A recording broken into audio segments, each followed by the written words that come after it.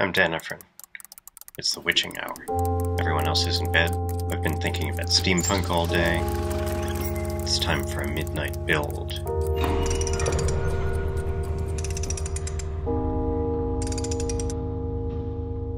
Let's go.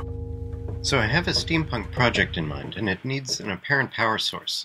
It's really going to be battery powered, but it needs to look like it's powered in some some old-timey way to give that proper steampunk look. I don't want to make it steam powered, although that would be the obvious thing. I thought about a winding key, a fake winding key, that's always fun. But I decided that I'd like to actually make a replica of an old battery. Commercial dry cell batteries were invented in the late 1890s, and by the early 1900s were already in wide use, so it would not be unreasonable for uh, A device in the steampunk era, which is approximately the science fiction version of the Victorian era. It's not unreasonable for such a device to be powered with a period Victorian battery. And so I decided to make a replica of a Victorian battery to put modern batteries in as a power supply for, uh, for other steampunk props. And that's what we're going to do tonight. The first step in a project like this is research. I looked online, and sure enough, I found a website, radiolaguy.com, with a great set of build instructions for just such a project. Okay, we're looking for a cardboard tube, 2 and 5 eighths inch diameter. Let's see what we got. Too big. Much too big. Too small.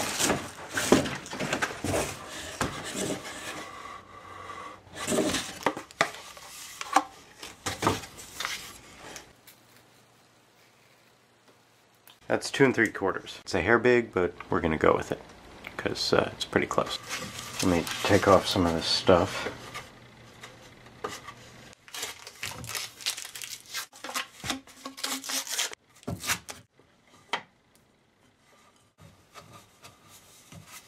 Pretty good. Really, I should do my own research confirm the exact sizes of these old batteries, but this guy seems to know what he's talking about, and I'm just going to use his numbers without any further research on my part. And I'm going to take a few other liberties anyway with this design, so it's not going to be an exact replica.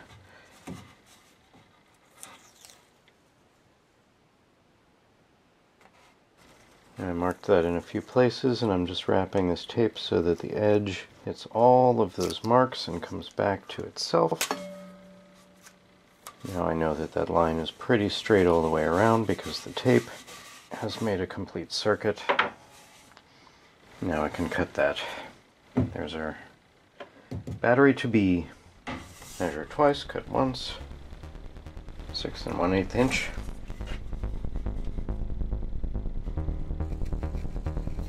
Always keep your thumb out of the way of the blade when cutting. I'm not trying to cut all the way through in one circuit. Go around and around as many times as I need to, cutting just a little bit each time. Because these cardboard tubes are many layers of cardboard. It's best to acknowledge that with the blade. You take the tape off now because we've got a firm line established. The knife will just fit right back into that groove.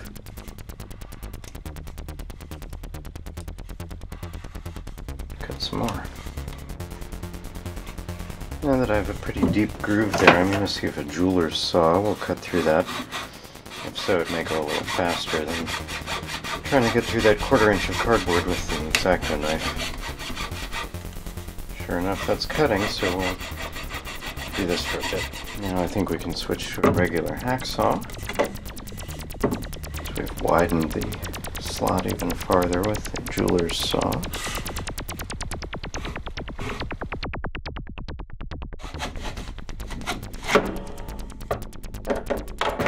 Finally, we have cut through that very thick cardboard, and we're ready to move on.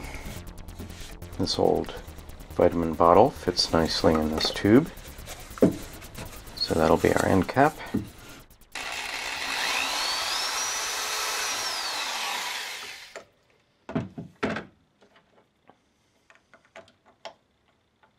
The triangular tips on these large drill bits for wood are pretty good on this sort of soft plastic, but there's a better way to make these holes. A real number 6 dry cell was 1.5 volts, but I may not stick to that for this replica.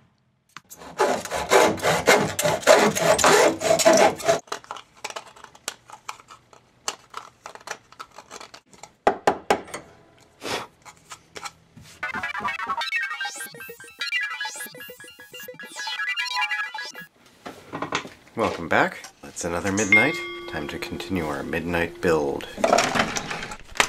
Gotta have brass nuts to make a steampunk project like this.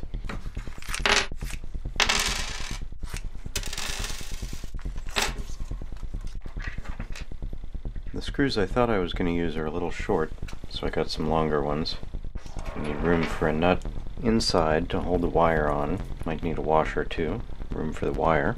Then room for the plastic end cap. Then another nut. Then this knurled nut.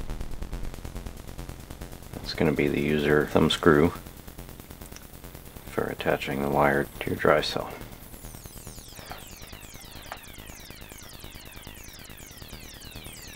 with the wire sandwiched between these two washers,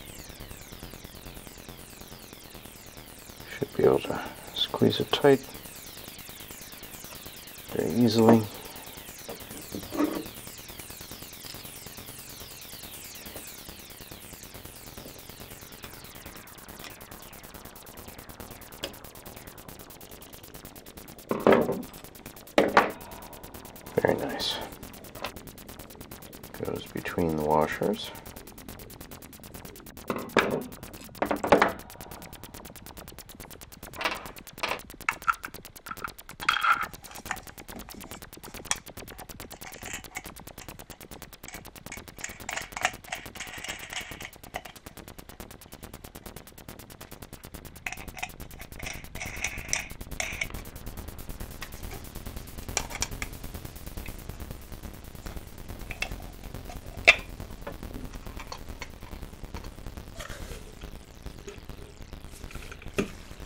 Now one of my terminals is leaning towards the other.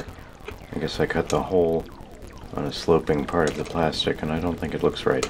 These drill bits work much better on this plastic by hand than on the drill. Historically the center terminal would be positive, so we'll use the red for that.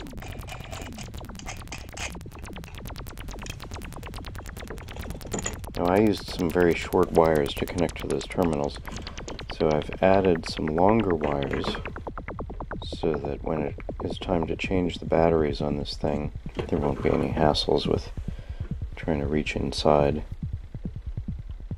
You can just pull the battery pack all the way out the bottom. Put some heat shrink tubing on these and shrink it up.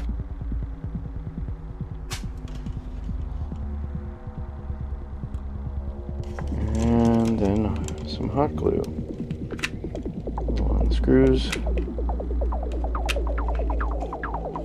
Everything in place and insulate the connections.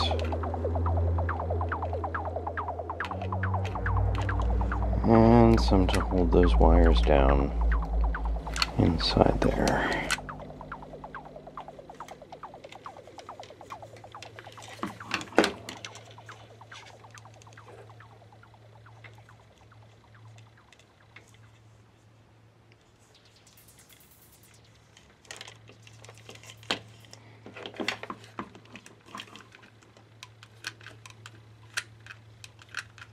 Give that a few minutes to cool.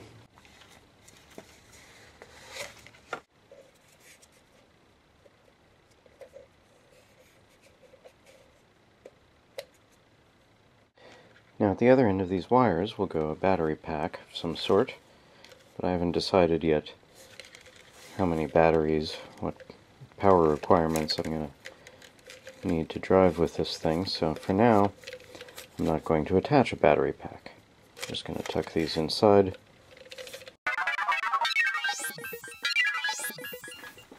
Welcome back. It's midnight again. Time to continue our midnight build. The next step is to fill in this top surface. The original instructions call for tinted epoxy, but I don't really like to work with epoxy, so I thought about other materials I could use. Sealing wax, tinted hot glue. Eventually I decided to just try wax. I'm going to scratch up this surface a little bit so it isn't completely smooth. I got a big bag of these tea lights at the craft store for a few dollars. This works, but it's kind of awkward and dangerous. I think there's probably a better way. That looks pretty good. It'll take a while to cool. Meanwhile, it's time to work on the label. I like to make up my own brands for this sort of old-timey prop, so I just whipped up something in Illustrator, sort of primitive looking. If I wanted a label from an actual brand, I'd probably just go back to radiolaguy.com and buy one of his labels. He's got some replica labels that are just beautiful. But I prefer to make up my own brands for this sort of thing. It's more interesting to me to just make something up. I just printed the label on regular yellow paper, and I'm taping it to itself, not to the tube, in case I decide to put a fancier one on later. But I'm pretty happy with this one.